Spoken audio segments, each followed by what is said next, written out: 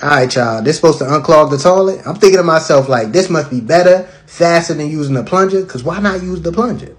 Now I just want to know where the doodle going. Like, how is it unclogging itself? Do it hit the top then drop back down?